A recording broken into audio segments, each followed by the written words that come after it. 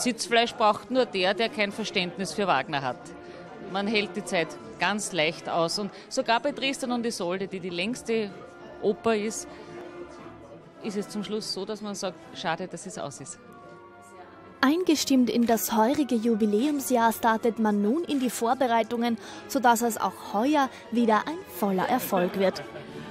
Ich habe letztes Jahr einiger meiner Freunde nach Wels gebracht, eingeladen zu Vorstellungen, die noch nie in einer Wagner-Oper waren, die relativ wenig mit Oper am Hut hatten bis dahin.